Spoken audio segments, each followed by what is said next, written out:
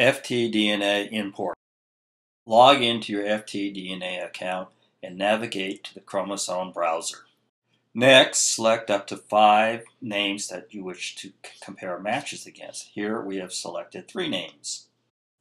When your selections show, click on the Download to Excel or CSV link. This will download the files into your Safari browser. Click towards the top of the browser window and one or more Open In buttons will show. Click on the Open DNA Match button and Safari will launch DNA Match. When the import pop-up shows, select FTDNA as your file source.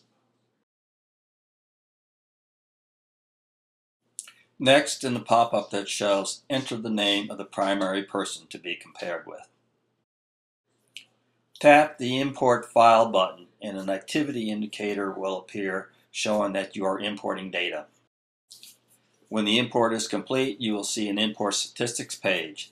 This page will show you vital information on the actual import. Click Done and you are finished.